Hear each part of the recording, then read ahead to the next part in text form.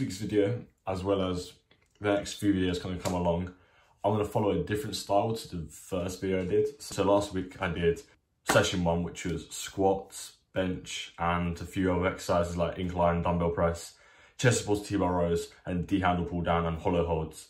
Reason why I'm looking down here is I have my program all in front of me so I know what I'm talking about.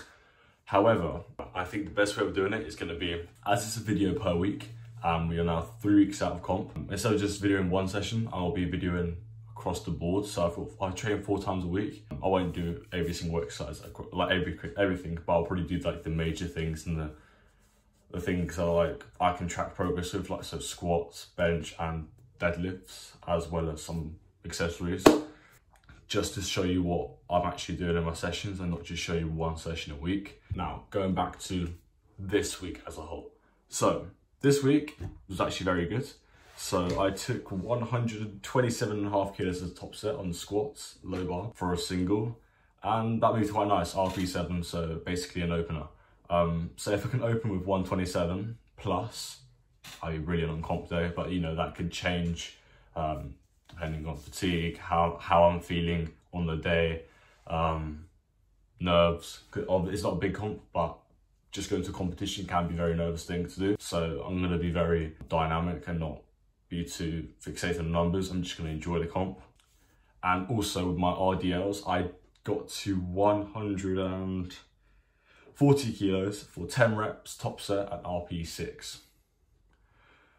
Pretty, really good. It's really good actually for me only thing I'm a bit confused about is last week I took 155, I want to say, 157, no, 155 for a top single deadlifts RP8, which I was meant to do an RP6, so I overshot by two. I don't know what happened. Deadlifts has always been a really strange lift for me. So I have my good days and bad days, but to be fair, last week was my first time I ever used calibrated plates for a full session which is a very different different thing. So the reason why calibrated plates are different to normal steel plates and uh, um, bumper plates are down to multiple factors. First of all, one of them is calibrated plates are in around about 10 grams of the true of the weight it says it is. So 25 kilos, it is round about 25 kilos precisely whereas steel plates and bumper plates can be off by a fair margin, like one kilo, two kilos. I've seen some bumper plates off by a stupid amount, which is fine. Like when training, you don't, it doesn't matter, but when you add that up to a higher number, like if you've got like four, five plates, red plates, it's gonna feel heavier. But the other thing is, when you try and pull the slack out of the bar with a calibrator plate, the distance between the bar and the plate is non-existent practically.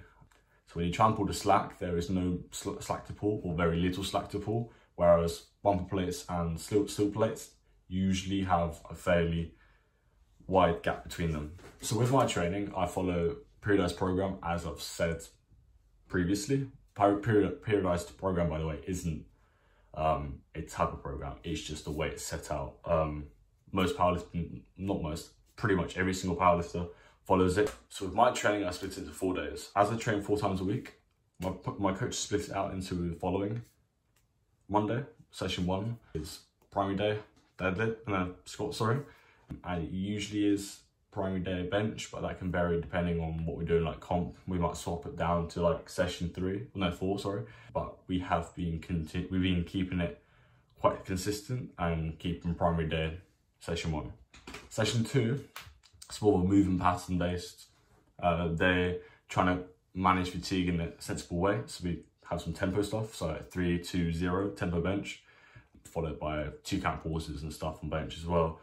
Uh, just to get the movement pattern in, practice the pause commands for comp as well as just in general. Even when you're off season, you want to try and uh, replicate uh, competition environment as much as you can and keep the same standards all year round really. And also on that day do some comp deadlifts, which is very light. It's like an RP 6, 5, even 7 some days, depending on where we are. 7, I've never seen it on my um, secondary deadlifts ever, but I assume one day we'll probably get up there. And then my most boring session is the squats primary day, no, secondary day, sorry. And that is literally three sets of three, probably around about 110 kilos, 100, 100 kilos. Uh, roughly sitting around about RP 6, 5 most sessions. My favorite session is probably session four when we do comp bench, very high volume. Well, we've dropped the volume recently because of what we're coming up. So I've had back issues with deadlifts for a good while. For the first eight to nine months of powerlifting, I would say it got really bad. I got to some stages when I couldn't even walk after my deadlift sessions. So, and by the way, this is only deadlift 110 kilos for four or five reps when I just started powerlifting. And yeah, it got to a stage when I came home and I couldn't even like put my shoes on, couldn't open the dishwasher, do anything like that with socks on. It was really bad. I went to physio, that didn't hurt, work or anything like that. So me and my coach had like a good look at my what was going on, what was the issue. It took ages to figure out what it was and to this day we still do not know what it is precisely. However, my back issues have been fixed, which is really good. Um, I've been deadlifting three, four months now with no back pain, zero back pain, which is brilliant stuff. It could be down to multiple reasons. For instance, the volume was too high for me because I just started deadlifting, so before powerlifting, never deadlifted before. Or incorrect technique right at the start, first few weeks, first month, let's say. And I'll probably say the biggest thing I personally think it was is I used more the posterior chain right in contrast to my legs when deadlifting.